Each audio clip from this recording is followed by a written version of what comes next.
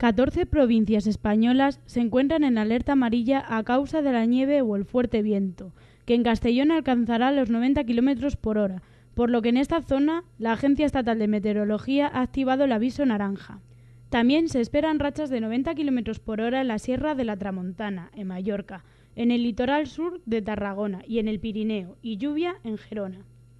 El viento alcanzará los 80 kilómetros por hora en Tarragona, Ampurdán, en el Pirineo de Lérida, en la Ibérica Zaragozana, en Teruel, en el Pirineo Navarro y en la Ibérica Riojana.